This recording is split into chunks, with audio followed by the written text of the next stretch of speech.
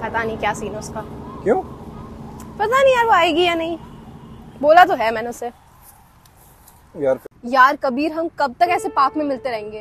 तू कब अपने घर पे मेरे बारे में बता रहा है? बताऊँगा मुझे थोड़ा सा टाइम दे। तो, तो आगे तो फिर देखना पड़ेगा ना मुझे ऐसी थोड़ी मैं जाके सीधा मुँह फट एकदम बोल दूँगा। देख कबीर बहुत हो गया तेरा टालम टाल ऐसे करते करते पूरे दो साल निकाल दिए तूने। सुन मेरी बात अब। मेरे पास सिर्फ़ दो ही रास्ते हैं। या तो मैं हायर स्टडीज़ के लिए बाहर चले जाऊँ या मेरे घर वाले जैसा कह रहे हैं मैं वो मान लूँ। और इन दोनों ही केस में हमें अलग होना पड़ेगा। यार तू मेरी बात क्यों नहीं समझ रही है? बस कबीर यार इनफ मैं और नहीं समझ सकती। देख प्रीति मैं तेरी बात समझ रहा हूँ पर यार कहीं मेरी बात भी तो समझ ले एक बार। यार मुझे भी पसंद नहीं आता है ऐसे। मैं भी चाहता हूँ कि हमारे घर पे पता लगे बिना किसी से हम झिझके हुए मिले। पर यार अब थोड़ा मुझे टाइम तो लगेगा ना इस चीज़ में। यार एकदम से मतलब मैं कैसे बताऊँ? तुझे प्लीज़ मेरी बात समझ। और हमें जब भी हम मिलते हैं हम यही बात करते हैं। आज प्लीज़ हम बिना इस बात को छेड़े में रह सकते हैं।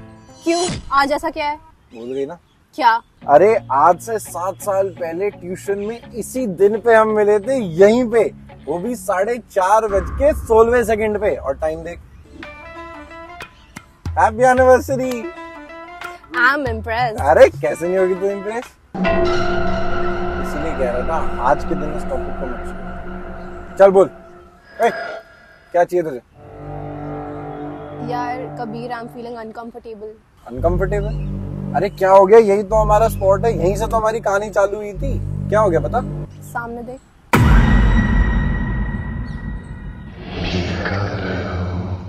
माय गॉड ये कब से बना रहे वीडियो आई थिंक जब से हम आए तब से। तू रुक इधर। इसको तो मैं बता के आता हूँ। रहने दे कबीर। छोड़ना यार हम कहीं और चलते कबीर। अरे पागल है क्या? कोई दादागिरी थोड़ी चल रही है यहाँ पे?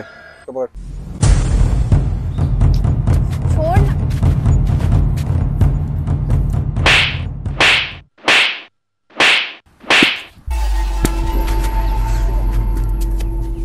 कोई हाथ कैसे लगा रहा है मेरे को? तू सड़क छाप छपरी वीडियो कैसे बना रहा है हमारी?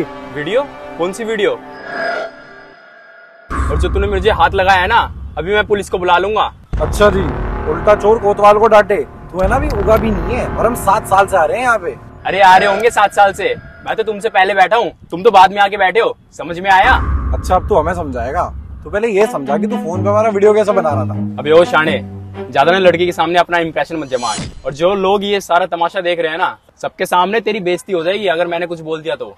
अच्छा क्या बोलेगा तू? अच्छा ले पकड़ और ये ले मेरा फ़ोन और देख ले किसकी फ़ोटो है इसमें। ये इसमें तो तुम्हारी सेल्फी है। हाँ मेरी सेल्फी है सारी। मैं यहाँ पे सेल्फी इसलिए खींच रहा था क्योंकि इधर की लोकेशन बहुत अच्छी है और तुम लोग आए मेरे बाद। और ये फ़ोटो मैं बाय द वे अपनी मम्मी के लिए खींच रहा था ताकि उनको टेंशन ना हो। और उनको लगे कि उनका बेटा बिल्कुल ठीक है वो दूसरे शहर में। और तुमने आके मुझे ताड़ ताड़ ताड़ दूसरों के सामने थप्पड़ मार दिए। ये है तुम्हारी पढ़ाई लिखाई। सॉरी ब्रदर यार एक्चुअली हम लोग है ना बहुत टेंशन में थे तो उसमें मतलब मैं समझ ही नहीं पाया ये चीज़ कि मतलब आप अपना काम कर रहे हो और आप हमारे में इंटरफेयर नहीं कर रहे हो। और मैंने आप पे एकदम से हाथ छोड़ दिया। I am very sorry for it actually आप हम में नहीं हम आप में इंटरफेयर कर गए और इसी वजह से ये सब इंसिडेंट हो गया। ओके इट्स ओके सादा तो मैं भी बहुत कुछ कर सकता था, मगर मैंने ऐसा कुछ नहीं किया। इससे आपकी परवरिश का पता चलता है। Thank you